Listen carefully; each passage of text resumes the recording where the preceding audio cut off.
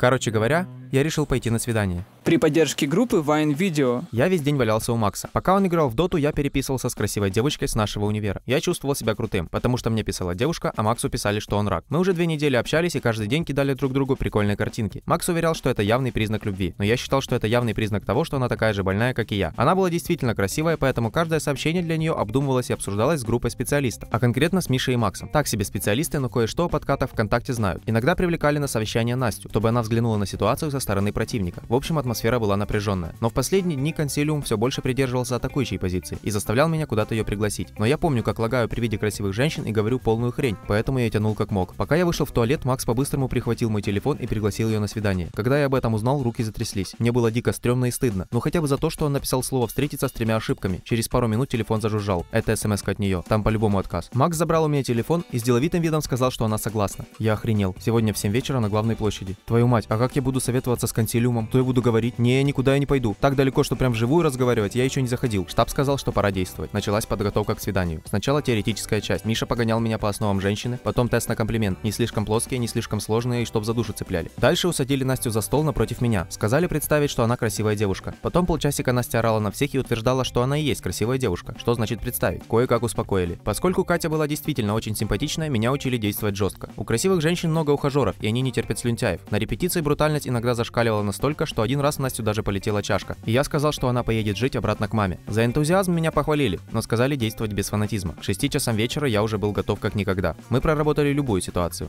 Мне сказали одеться в красивый наряд. Ну что было дома чистое, то и считалось красивым. Главная дилемма была в том, одевать подштанники или нет. Ребята сказали, что, конечно, в меня верят, но до подштанников сегодня дело точно не дойдет. В половину я уже хотел вызывать такси, но меня набрала Катя. Ребята сказали не церемониться с ней, не мямлить, говорить четко и уверенно. Катя сказала, что возможно на полчасика опоздает. У нее был настолько милый голос, что я запаниковал и первые слова промямлил как карп, но потом все-таки вспомнил, чему меня учили. Значит, слушай сюда. Если ты сейчас не придешь, мы расстаемся. И все.